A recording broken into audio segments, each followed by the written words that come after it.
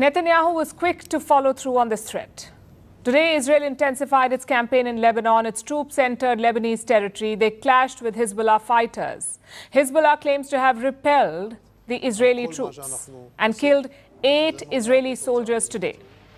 But Netanyahu remains undeterred. He has deployed more troops for the Lebanon operation and intensified the bombing campaign. Israel says it has destroyed more than 150 targets.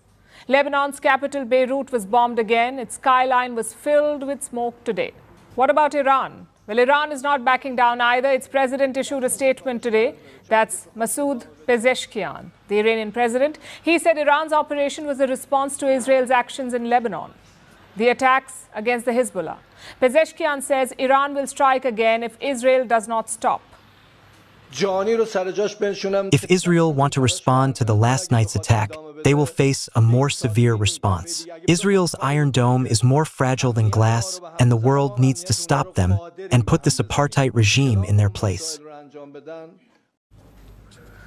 So both Israel and Iran are making fresh threats. No side wants to retreat. There's little room for diplomacy at the moment. As things stand, this war will continue. This is exactly what Netanyahu wanted. I know it may sound strange. Who would want 180 missiles being fired at them? Well, that's Benjamin Netanyahu for you. He sees this escalation as an opportunity to do what? To reshape West Asia, to settle his scores with Iran. Just look at his actions over the last year. Excessive force in Gaza, direct attacks on Tehran, killing the Hezbollah chief in Beirut. All of it confirms one thing. He was needling Iran all the time, basically spoiling for a direct confrontation, and now he has got it. The Israeli Prime Minister addressed a security meeting yesterday. He promised to make Iran pay. Iran made a big mistake tonight, and it will pay for it.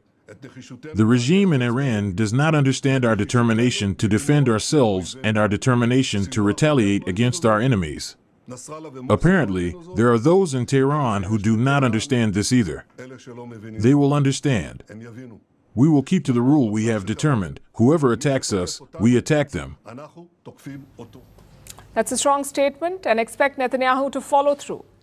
He couldn't do that the last time. Iran launched its first direct attack in April this year, but Israel's response was limited, a bit half hearted. This time, he is in a better position. Netanyahu is more popular at home. His allies have closed ranks behind him.